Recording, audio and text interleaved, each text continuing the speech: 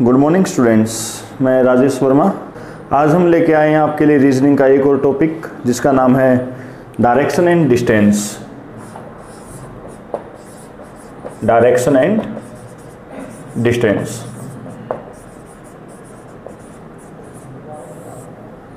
तो क्लास सबसे पहले बात आती है नंबर ऑफ़ डायरेक्शन की, कि भाई हमारे पास नंबर ऑफ़ डायरेक्शन होते कितने हैं। अगर आप किसी से पूछते हो कि भाई आपके पास टोटल नंबर ऑफ़ डायरेक्शन है कितनी तो कोई कहता है चार, कोई कहता है आठ, कोई कुछ कोई कुछ। तो क्लास सबसे पहले याद रखें कि आपके पास जो टोटल नंबर ऑफ़ डायरेक्शन होती हैं, वो होती है टेन जी हाँ टेन अगर मैं टोटल नंबर ऑफ़ डायरेक्शन की आपके लिए, आपके सामने बात करूँ east west north and south ठीक है क्लास ईस्ट को हम बोलते हैं पूर्व। वेस्ट हमारे लिए है पश्चिम। नॉर्थ उत्तर। और साउथ हमारे पास है दक्षिण के नाम से। क्लियर क्लास यहाँ तक? यहाँ पर देखिए, ये जो एक एंगल हमारे पास बना है, ये एंगल है 90 डिग्री का। और 90 डिग्री के अकॉर्डिंग जो क्वाड्रेंट हमारे पास है, ऐसे ऐसे हमारे पास टोटल चार क्वाड्रेंट है। वन टू थ्री फोर इन फोर क्वाड्रेंट्स में जो टोटल एंगल की रोटेशन आपके पास बनती है, वो बनती है 360 डिग्री यानी कि 360 डिग्री इसका मतलब क्या होता है क्लास इसका मतलब होता है भी यदि आप किसी भी एक डायरेक्शन में फेस करके खड़े होते हो अब चाहे आपको वहाँ से क्लोकवाइज मूव कीजिए, या फिर आप वहाँ से एंटी क्लोकवाइज मूव कीजिए। अगर आपको दोबारा से उसी डायरेक्शन में आना है तो आपको मैक्सिमम कितने डिग्री मूव करना पड़ेगा? 360 डिग्री ये जो फ़र्स्ट क्वाड्रेंट आपके पास है नॉर्थ और ईस्ट के बीच का, ये जो रीजन आपके पास आया है, यानी कि ये जो डायरेक्शन हमारे पास आई है, वो डायरेक्शन हो जाती है नॉर्थ ईस्ट कौन सी हो जाएगी? नॉर्थ ईस्ट सेम साउथ और ईस्ट के बीच की जो डायरेक्शन हमारे पास है, वो हो जाएगी साउथ ईस्ट साउथ और वेस्ट के बीच की जो डायरेक्शन है, वो हमारे पास हो जाएगी साउथ वेस्ट और नॉर्थ और वेस्ट के बीच की जो डायरेक्शन है क्लास वो हमारे पास हो जाएगी नॉर्थ वेस्ट क्लियर है? अब हमारे पास टोटल नंबर ऑफ़ डायरेक्शन हो गई एट फोर मेन डायरेक्शन है. फोर हमारी सब डायरेक्शन है. जो दो डायरेक्शन हमारे पास बचे क्लास वो एक इससे ऊपर की और एक इसके बैक साइड की। फॉर एग्ज़ाम्पल जब भी हम लोग कभी ग्राफ बनाते थे तो ग्राफ में हमारे पास एक एक्स प्लेन होता था और एक वाई प्लेन होता था। इन दोनों से अलग जो थर्ड प्लेन हम यूज़ करते थे, वो हमारे पास था जेड प्लेन जो हम थ्री में यूज़ करते थे। तो क्लास हम अपने बोर्ड पर मैक्सिमम 2D को ही रिप्रेजेंट कर सकते हैं। तो जो एक से ऊपर की डायरेक्शन है और एक उससे नीचे की दो डायरेक्शन वो और आठ डायरेक्शन ये तो हमारे पास जो टोटल नंबर ऑफ़ डायरेक्शन बनी है, वो कितनी होती है? टेन। डायरेक्शन टेस्ट से रिलेटेड अगर कोई भी क्वेश्चन आता है तो हम खुद को हमेशा कहाँ पर मानते हैं क्लास? सेंटर पर। कहाँ पर मानते हैं? सेंटर पर। अगर आपको किसी भी डायरेक्शन में जाना है तो कहाँ से जाइएगा? सेंटर से। कितनी भी डिस्टेंस ट्रेवल करनी है तो कहाँ से करोगे? सेंटर से। क्लियर है? अगर मैं इसको एज ए क्लोक मान लूँ और हम कहें कि भाई अगर हम अकॉर्डिंग टू क्लोक रोटेट करते हैं तो ये जो डायरेक्शन हमारे पास आई है जो रोटेशन हमारे पास है ये होती है क्लास क्लोकवाइज जिसको हम हिंदी में बोलते हैं दक्षिणावर्त और जिसका बेसिकली मीनिंग होता है टर्न इन राइट साइड कि भाई आपको राइट साइड में मुड़ना है। अगर आप अगेंस्ट क्लॉक चलते हैं तो ये जो रोटेशन आपके पास आई है, इसको हम बोलते हैं क्लास एंटी क्लॉकवाइज क्या बोलते हैं? एंटी क्लॉकवाइज और इसको हम हिंदी में बोलते हैं वामावृत। क्या बोलते हैं क्लास? वामावृत। और इसका मीनिंग होता है turn in left side. Clear है यहाँ तक? कोई डाउट? चलिए। अभी जिस तरीके से आप सभी लोग बैठे हैं, आप सभी का जो फेस है वो नॉर्थ की साइड है। किस साइड है? नॉर्थ की साइड तो आपके राइट और लेफ़्ट दोनों डायरेक्शन ये रहेंगे। ठीक है? सपोज़ कीजिए आपका फेस नॉर्थ में ना होकर ईस्ट में होता है। अगर आपका फेस ईस्ट में है तो इन दोनों को ही इस साइड रोटेट कर दीजिए। तो राइट नीचे और लेफ़्ट ऊपर। और अगर आपका फेस वेस्ट में होता है तो इन दोनों को इस साइड मूव कर दीजिए। लेफ़्ट नीचे और राइट ऊपर। क्लियर है? ईस्ट और वेस्ट, दोनों ही डायरेक्शन जो हैं, वो एक दूसरे के अपोजिट है। ईस्ट और वेस्ट, दोनों ही डायरेक्शन जो हैं, वो एक दूसरे के अपोजिट है। तो इनके सामने जो व्यक्ति बैठे हैं, उनके राइट और लेफ़्ट भी क्या हो गए? एक दूसरे के अपोजिट। फॉर एग्ज़ाम्पल अगर मैं कंपेयर करूँ आप लोगों में और मुझमें, आपका फेस है नॉर्थ की ओर मेरा फेस है साउथ की ओर। जब आप चेक करेंगे, आपका राइट हैंड किस साइड है? ईस्ट में। बट मेरा राइट हैंड वेस्ट में। आप लोगों का लेफ़्ट हैंड किस साइड है? वेस्ट में। बट मेरा ईस्ट में। तो यानी कि जब भी कोई भी दो व्यक्ति अगर एक दूसरे के आमने सामने बैठे हैं तो उनके राइट और लेफ़्ट भी क्या हो जाएँगे क्लास अपोजिट हो जाएँगे। तो सेम अगर नॉर्थ के राइट और लेफ़्ट ये हैं तो साउथ के राइट और लेफ़्ट इसके अपोजिट यहाँ तक कोई डाउट चलिए। डायरेक्शन एंड डिस्टेंस का सबसे इंपॉर्टेंट पॉइंट क्या कहता है? अगर आप लोग चार बार फोर टाइम्स सेम डायरेक्शन में टर्न करते हैं टर्न्स इन सेम साइड तो आप लोग उसी स्थान पर पहुँच जाओगे जहाँ से आपने चलना शुरू किया था। इसके अंदर जो डिस्टेंस आपको बताई जाती है क्लास वो एक ही बार बताई जाएगी और वो डिस्टेंस हमेशा फिक्स होती है, वो डिस्टेंस कभी चेंज नहीं होती। क्लियर है? चलिए देखते हैं। जो डायरेक्शन मैप हमारे पास है east west north and south clear है? मैं कहता हूँ, अनिल नॉर्थ साइड में 10 किलोमीटर गया। अनिल नॉर्थ साइड में 10 किलोमीटर गया। तो क्लास जब भी डायरेक्शन या डिस्टेंस का क्वेश्चन आ जाए तो हम खुद को हमेशा कहाँ पर मानते हैं? सेंटर पर। अब हमको जितनी भी डिस्टेंस ट्रेवल करनी है तो कहाँ से करेंगे? सेंटर से। उसने आपको बताया भी, अनिल नॉर्थ साइड में 10 किलोमीटर गया तो ठीक है भाई, यहाँ से यहाँ तक की जो डिस्टेंस है, हम लोग मान लेते हैं 10 है। कहते हैं वहाँ से वह चार बार राइट साइड में मुड़ा। कितनी बार? चार बार। राइट साइड में मुड़ा। बताइए वह किस दिशा में है? तो चलिए देखते हैं क्लास यहाँ से वह पहली बार राइट साइड में मुड़ा। बट बच्चों के माइंड में एक क्वेश्चन राइज होता है कि, सर, ठीक है, वो राइट साइड में तो मुड़ा बट आपने डिस्टेंस तो हमें बताई ही नहीं। तो क्लास याद रहे डिस्टेंस वो आपको सिर्फ़ एक ही बार बताता है और वो डिस्टेंस हमेशा क्या रहती है? फिक्स रहती है। उसने आपको बताया है कितने किलोमीटर गया?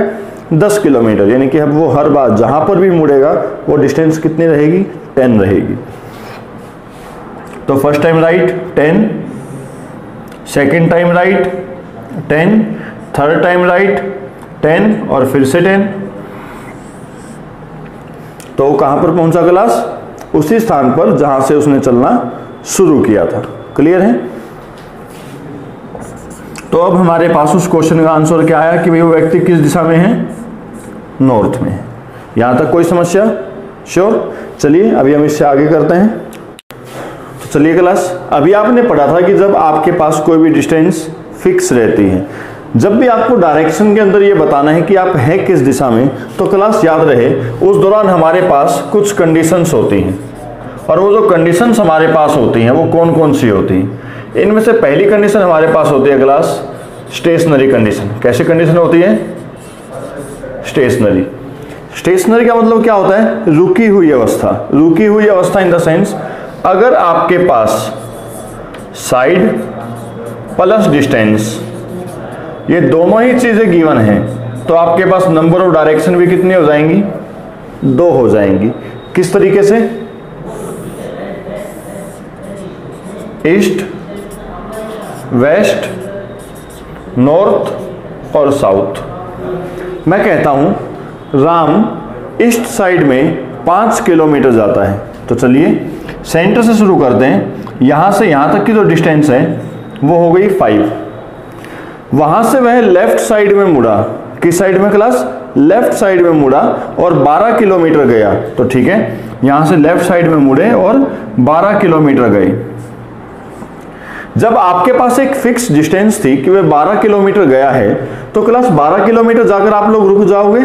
और जहाँ पर भी आप रुक जाते हो, खड़े होते हो, कहने का मतलब भी जब भी आप किसी भी एक पॉइंट पर फिक्स हो जाओ तो आप हमेशा ही दो डायरेक्शन के बीच में होते हो। और इस टाइम पर राम जो है, वो किन दो डायरेक्शन के बीच में है? नॉर्थ और ईस्ट के बीच में। तो यानी कि ये जो डायरेक्शन हमारे पास आई है राम की, वो कौन सी आई है? नॉर्थ ईस्ट बट यहाँ से एक सेकेंड क्वेश्चन और भी बनता है। फ़र्स्ट क्वेश्चन तो आपके पास था, राम किस दिशा में है? तो ठीक है, राम नॉर्थ ईस्ट में है, बट डायरेक्शन से रिलेटेड एक क्वेश्चन और भी बनता है कि राम का फेस किस दिशा में है। तो क्लास, राम का फेस किस दिशा में है? अगर हम इसकी बात करें तो राम का जो फेस है, वह नॉर्थ साइड में है। यहाँ तक कोई डाउट? क्लियर है? चलिए, इसके बाद की जो सेकंड कंडीशन हमारे पास थी, वो है रनिंग कंडीशन तो चलिए, अब हम रनिंग कंडीशन के बारे में बात करते हैं। अभी क्लास आपने पढ़ा था स्टेशनरी कंडीशन के बारे में तो अभी हम बात करेंगे रनिंग कंडीशन के बारे में। जो इसकी सेकंड टाइप थी रनिंग कंडीशन रनिंग कंडीशन का मतलब क्या होता है क्लास चलते हुए।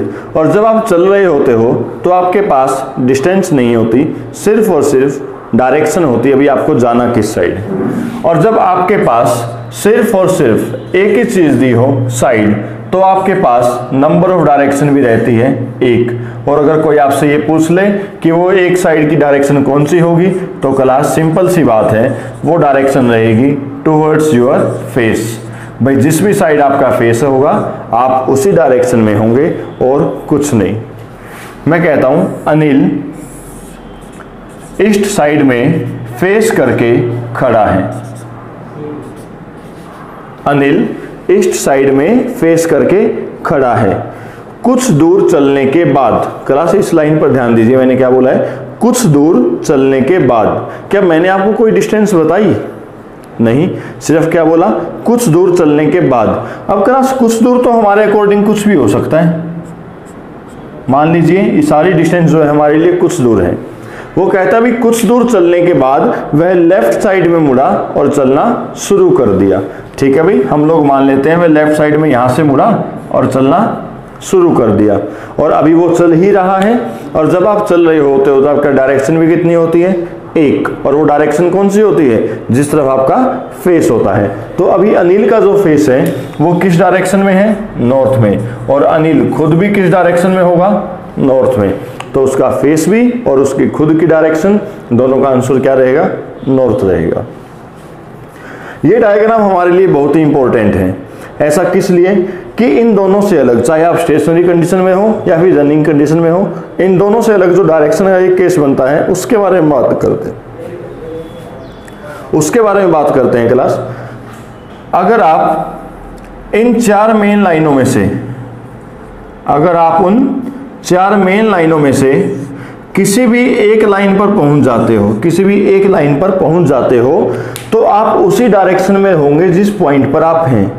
सपोज़ कीजिए आप कहीं से भी आए डजेंट मैटर आप इस पॉइंट पर पहुँचे तो आप किस डायरेक्शन में हैं? ईस्ट में। यहाँ पर पहुँचे तो नॉर्थ में, यहाँ पर वेस्ट में और यहाँ पर साउथ में।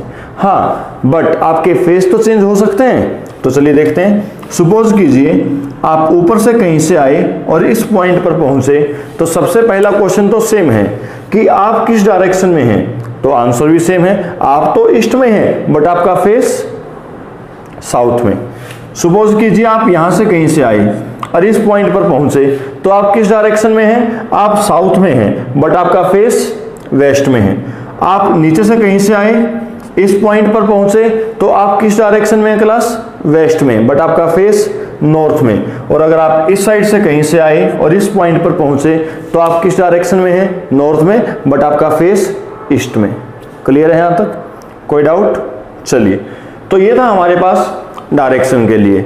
बट हमारे टॉपिक का नाम है क्लास डायरेक्शन एंड डिस्टेंस तो जब भी हमको डायरेक्शन के बारे में बात करनी थी तो हमारे पास कंडीशन थी भाई, वो स्टेशनरी कंडीशन भी हो सकती है रनिंग कंडीशन भी हो सकती है। हो सकता है आप इनमें से किसी भी मेन लाइन पर आ जाए बट जब भी हमको डायरेक्शन के अंदर डिस्टेंस बतानी हो, क्या बतानी हो? डिस्टेंस बतानी हो तो हमारे पास राइट एंगल ट्रेंगल का होना ज़रूरी है, क्योंकि उसके बिना हम कभी भी डिस्टेंस नहीं बता पाएँगे। तो क्लास अभी तक हम लोगों ने बात की थी डायरेक्शन के बारे में, अब हम बात करेंगे डिस्टेंस के बारे में। तो क्लास जब भी आपको डायरेक्शन के अंदर डिस्टेंस बतानी हो तो मैंने आपको बताया था, हमारे पास राइट एंगल ट्रेंगल का होना ज़रूरी है। तो चलिए, उसी राइट एंगल ट्रेंगल के बारे में हम बात करते हैं। ये हमारे पास एक राइट एंगल ट्रेंगल है। क्लियर है? राइट एंगल ट्रेंगल में ये एंगल जो हमारे पास 90 डिग्री का है, इसके सामने वाली साइड कहलाती है हाईपोटेन्यूज क्या कहलाती है? हाई पोटेन्यूज और हाईपोटेन्यूज को हम लोग हिंदी में क्या बोलते हैं? कर्ण और इसको रिप्रेजेंट किससे करते हैं? एच से। 90 डिग्री का एंगल जिस साइड पर बना होता है, उसको बोलते हैं बेस, यानी कि आधार। और इसको रिप्रेजेंट करते हैं क्लास बी से। 90 डिग्री का एंगल जिस साइड के साथ बना होता है, उसको बोला जाता है परपेंडिकुलर। और यानी कि लंब और इसको रिप्रेजेंट करते हैं क्लास पी से। अकॉर्डिंग टू पाइथागोरस थ्योरम हम लोगों ने क्या पढ़ा है कि भाई H square equal to B square plus P square और ये जो एच स्क्वेयर है, इसको बोला जाता है शॉर्टेस्ट डिस्टेंस यानी कि ये हमारी न्यूनतम दूरी। ठीक है? बट अकॉर्डिंग टू एसएससी और बैंक इसका एक नया नाम और भी होता है और उसको हम बोलते हैं क्रो फ़्लाइट हाइट क्या बोलते हैं? Crow flight height crow flight height clear है? बट अगर मैं एक सिंपल सी बात करूँ तो यहाँ पर वो हमको वैल्यू बता रहा है एच स्क्वेयर की। किसकी वैल्यू बता रहा है? एच स्क्वेयर की। बट हमको वैल्यू चाहिए किसकी? एच की। तो क्या करेंगे? दोनों तरफ़ स्क्वेयरिंग कर देंगे। और दोनों तरफ़ स्क्वेयरिंग करने से क्या हो जाएगा? H equal to root of B square plus P square clear है? बट ये कोई ज़रूरी तो नहीं कि वो आपसे हर बार एच की वैल्यू पूछे। वो हमसे बेस की वैल्यू भी पूछ सकता है।